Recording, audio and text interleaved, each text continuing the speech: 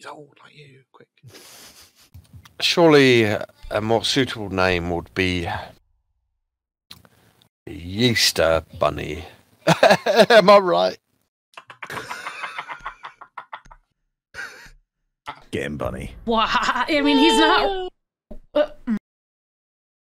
Wait, no. send him an the- invite. Oh, sh- You need to keep the hostage I'm so torn. That was hilarious, and he's British, but goddamn. Don't shoot me, I'm innocent! I have children!